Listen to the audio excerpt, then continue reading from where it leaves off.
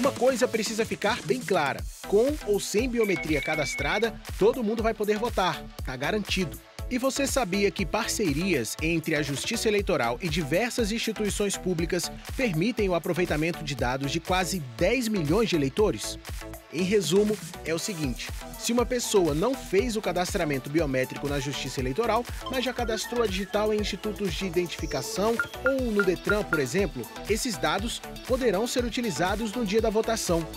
Quando a eleitora ou o eleitor usar a digital para se identificar na hora do voto, essas biometrias serão verificadas e poderão ser inseridas no cadastro eleitoral para as próximas eleições.